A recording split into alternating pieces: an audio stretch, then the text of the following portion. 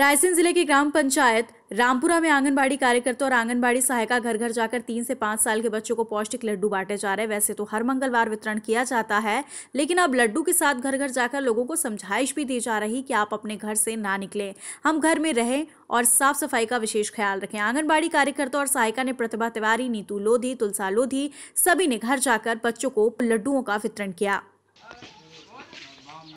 लड्डू हम तीन से छः वर्ष के बच्चों को दे रहे हैं और एक लड्डू 200 ग्राम का है। एक हफ़्ते में छः लड्डू देना है। इन लड्डू में कुछ पौष्टिक है कि हाँ, पौष्टिक है।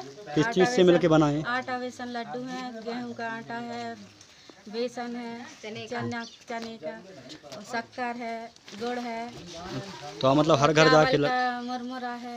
तो मतलब आप हर घर जाके लड्डू दे रहे हैं? हाँ, लड्डू घर घर जाके बांट रहे हैं। तीन से छह वर्ष के बच्चे। कितने बजे से कितने बजे तक है आपका सात बजे से नौ बजे। मंगलवार के दिन ही देती है कि? मंगलवार के दिन और आगामी दिनों में? आगामी जैसे पौष्टिक- बंद रहती है। बंद रहती है। हाँ उनके हिसाब से जो खाना वितरित होता है उसके हिसाब से जो लड्डू बनाए गए हैं तीन से छः वर्ष के जैसे अभी आपको नोडल अधिकारी जैसे आपको ग्राम का अधिकार है तो आप ग्राम में अभी बाहर से कितने लोग अभी तक आए हैं? आपने उनकी जाँच करवाई?